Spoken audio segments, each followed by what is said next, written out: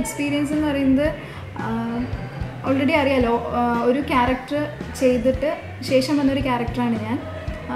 അതെല്ലാവരും അക്സെപ്റ്റ് ചെയ്തതിന് വളരെയധികം സന്തോഷം.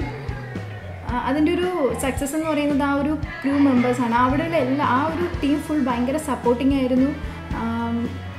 അതുപോലെ തന്നെ സാറാണെങ്കിലും പ്രവീൺ സാറിന്റെ ഒരു കോർഡിനേഷൻ തന്നെയായിരുന്നു ആ ഒരു അതിന്റെ ഒരു സക്സസ് എന്ന് പറയുന്നത്.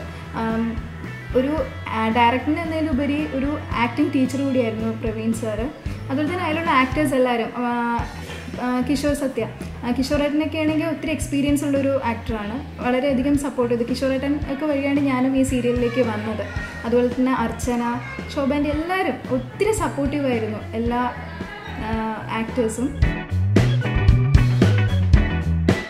കറുത്തമുത്ത് എന്ന് പറഞ്ഞൊരു ക്യാരക്ടർ ചെയ്യാൻ അതിന്റെ നിറമല്ല.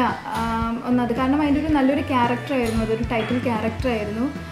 മറിച്ച് ഒരുപാട് പേര് കറുപ്പെന്ന് പറയുന്ന ഒരു സാധനത്തിനെ അവഗണിക്കുകയായിരുന്നു. ഇപ്പോൾ ഫിലിമാണെങ്കിലും ശരി അല്ലെങ്കിൽ ഒരു ഗ്ലാമർ വേഷത്തിലായിരുന്നു കൂടുതലും എല്ലാ ഒരു മീഡിയ നിൽക്കുന്ന മോഡലിംഗ് മീഡിയ ആണെങ്കിലും അല്ലെങ്കിൽ നമ്മുടെ സീരിയലിലാണെങ്കിലും ഫിലിമിലാണെങ്കിലും അധികം ഒരു കറുത്ത നായികയെ കൂടുതൽ കൊണ്ടുവരുന്നില്ല. അപ്പം ഇതൊക്കെ ഒരു എനിക്കൊരു വ്യത്യസ്തമായിട്ടുള്ളൊരു കാര്യമായിരുന്നു ഈ സീരിയൽ വന്നപ്പോഴും. അങ്ങനെ അപൂർവം ഒരു സിനിമകളിലൊക്കെ ഉണ്ടായിരുന്നു എന്ന് തോന്നുന്നു ഈ കറുത്ത നായികയായിട്ട് കമ്മറ്റിപ്പാടം ഒക്കെ. അതുപോലെ തന്നെ വളരെയധികം ആ ഒരു സന്തോഷത്തോടെ ഞാനൊരു ക്യാരക്ടർ ഏറ്റെടുക്കുകയാണ് ചെയ്തത്. അതിൽ വളരെ സന്തോഷമുണ്ട്.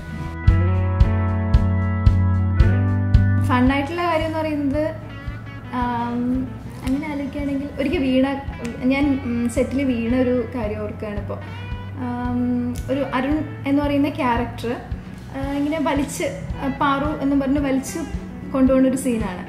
അതിലേക്ക് അരുൺചേട്ടൻ ഇങ്ങനെ വലിച്ചു പിടിക്കുമ്പോൾ ജസ്റ്റ് എനിക്ക് കാൽ വെക്കുന്നതിൽ കൂടുതൽ ഞാൻ വലിഞ്ഞിങ്ങനെ വന്നു. എന്നിട്ട് നേരെ ക്യാമറയുടെ ഫ്രണ്ടിൽ പോയി വീഴുക ചെയ്തു അപ്പോൾ എല്ലാവരും ഭയങ്കര ചിരി ഡയറക്ടറായിട്ട് ചിരിച്ചു പോയ ഒരു സീനായിരുന്നു അത്. ശരിക്കും അതാണ് എനിക്ക് ഇപ്പോഴും എന്റെ മൈൻഡിലൊരു ഫൺ ഇതായിട്ട് അല്ലെങ്കിൽ അങ്ങനെ തോന്നുന്നൊരു കാര്യം. കറുത്തമുത്തിലെ ക്യാരക്ടറും റിയൽ ലൈഫിലെ ക്യാരക്ടറും എന്നെ അറിയാവുന്നവർക്ക് അറിയാം. മീൻസ് അത് അതിൽ കുറച്ച് ഭയങ്കര പാവം കുട്ടി. അത്രയും പാവം കുട്ടികൾ ഉണ്ടോയെന്നതിന് എനിക്ക് സംശയമുണ്ട്. റിയൽ ലൈഫിൽ കുറച്ച് ബോൾഡും കാര്യങ്ങൾ സംസാരിക്കാനും പറ്റുന്നൊരു സ്ഥിതിയിലാണ് ഞാൻ. പിന്നെ ഡ്രസ്സിങ്സ് ഒക്കെ ആണെങ്കിലും ഞാൻ സാരി ഒന്നും അധികം അങ്ങനെ യൂസ് ചെയ്യുന്ന ആളല്ല. കറുത്തമുത്തിലാണ് ഞാൻ ആദ്യം ഇങ്ങനെ സാരി യൂസ് ചെയ്യാൻ തുടങ്ങിയത്.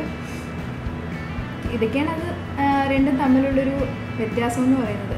ഞാനും കറുത്തമുത്തിലെ കാർത്തികയും തമ്മിലുള്ളൊരു വ്യത്യാസം.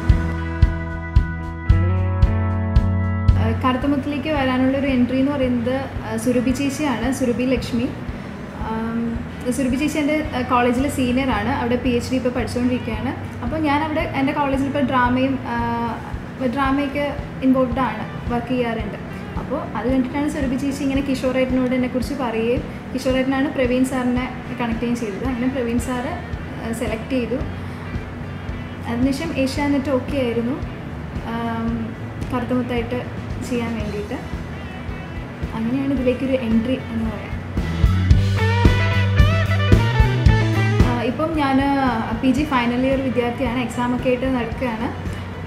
ഇപ്പം സീരിയലാണോ ഫിലിമാണോ ഇനി നോക്കുന്നതെന്ന് വെച്ച് കഴിഞ്ഞാൽ ഇപ്പോൾ രണ്ടിലാണെങ്കിലും ക്യാരക്ടറാണ് മുഖ്യം.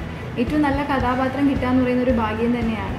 ഇപ്പോൾ ഇപ്പം ഞാൻ ഈ അടുത്ത് ചെയ്ത മാൻഹോൾ എന്ന് പറയുന്ന ഫിലിം ഇപ്പോൾ സ്റ്റേറ്റ് അവാർഡ് കിട്ടിയ ഫിലിമാണ് അതിലാണെങ്കിലും ആ ഒരു കഥാപാത്രത്തിന്റെ ഒരു പ്രത്യേകതയുണ്ട്. അതിനകത്തൊരു ബ്ലാക്കാണ് ഞാൻ ചെയ്തത്. ബ്ലാക്ക് ലേഡി ആയിട്ട് തന്നെയാണ് ചെയ്തത്. അതായത് ആ ഒരു കാസ്റ്റിനെ ബേസ് ചെയ്തും അവരുടെ ഇഷ്യൂസ് ബേസ് ചെയ്തിട്ടുള്ളൊരു സ്റ്റോറി തന്നെയാണ് ആ മൂവി എന്ന് പറയുന്നത്. അപ്പോൾ അതുപോലെ തന്നെ ഒരു നമുക്ക് ചെയ്യാൻ പറ്റുന്ന കഥാപാത്രങ്ങൾ നമുക്ക് എത്രത്തോളം ചെയ്യാൻ പറ്റുന്നു എന്നതാണ് അതിന്റെ പ്രാധാന്യം എന്ന് പറയുന്നത്. അതിന് സിനിമയായാലും സീരിയലായാലും കഥാപാത്രങ്ങൾക്കാണ് ഞാൻ പ്രാധാന്യം കൊടുക്കുക.